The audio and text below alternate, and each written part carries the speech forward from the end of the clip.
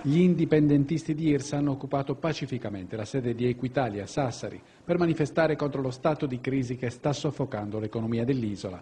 65.000 aziende sarde, molto più di un terzo del totale, sono debitrici del fisco o dell'Inps e iscritte a ruolo presso Equitalia Sardegna. Le tragedie di debitori disperati riportate dalla stampa testimoniano di un baratro di cui i dirigenti dell'ente sono a diretta conoscenza, muovendo loro le procedure di riscossione coatta, pignoramento, blocco fiscale dei beni. Gavino Sale, leader indipendentista, ha portato insieme alla denuncia le proposte di IRS per ammortizzare la crisi. La chiave centrale di questa cosa per noi è per adesso avere un congelamento del debito per almeno uh, 24 mesi.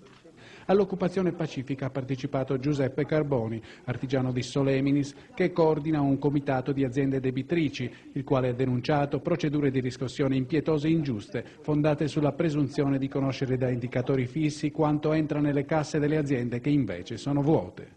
Si tratta di problemi che devono risolvere i politici regionali e nazionali, mentre noi siamo uno strumento tecnico di pura esecuzione, hanno risposto i funzionari di Equitalia, Gianfranco Melis e Gianmario Virdis, che non hanno escluso la disponibilità dell'ente ad accogliere linee di indirizzo diverse se imposte dall'alto. Ma per Sale non c'è un attimo da perdere perché sull'economia sarda stanno allungando le mani le associazioni mafiose. È una crisi mai vista e possiamo dire con certezza che oltre il 52% del territorio sardo ormai è in mano a società immobiliari, è in mano a società eh, i cui capitali sono di dubbia provenienza. Abbiamo individuato dei personaggi, per esempio un infermiere in pensione ha comprato 16 case nell'ultimo nell anno e altrettante le ha rivendute.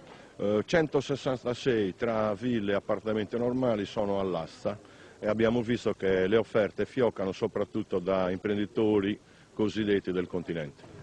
La manifestazione di IRS si è conclusa con un sit-in all'ingresso dell'Agenzia delle Entrate.